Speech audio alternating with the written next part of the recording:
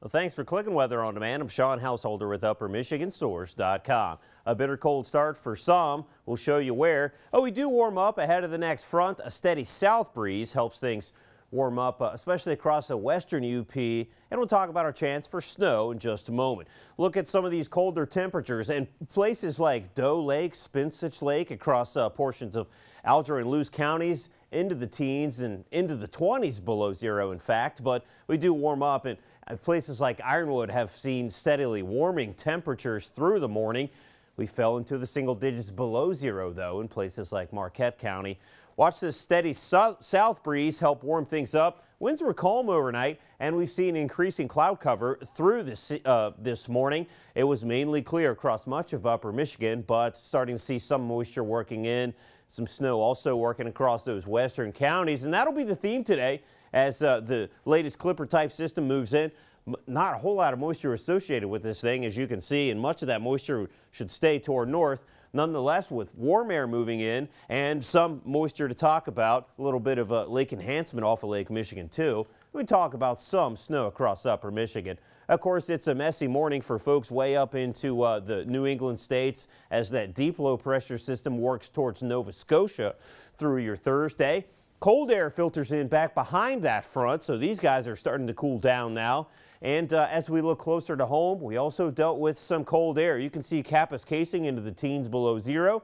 So your airport checking in well below what we expect for this time of year, unfortunately.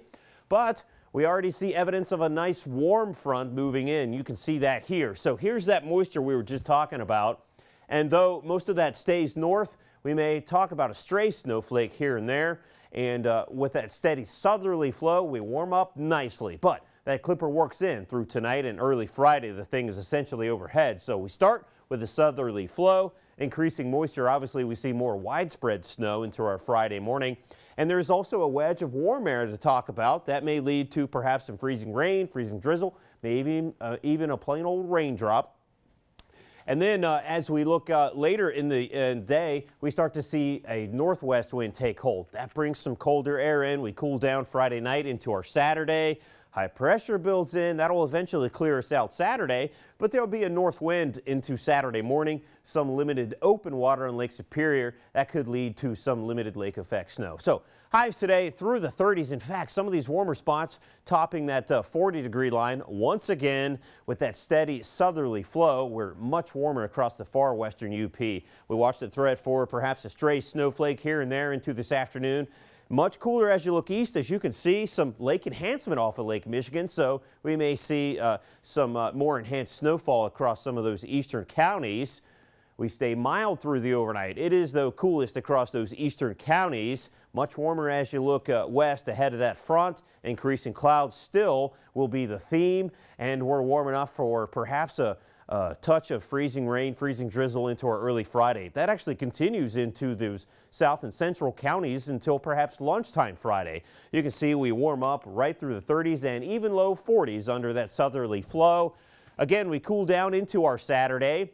On the TV six day forecast, we start to clear out Saturday night. In fact, we'll be clear enough for temperatures to fall into the teens below zero for some. Sunday, cold, mainly sunny though, and we start to warm up as our little leprechaun dances his jig there. We talk about uh, temperatures through the 30s ahead of the next front towards midweek.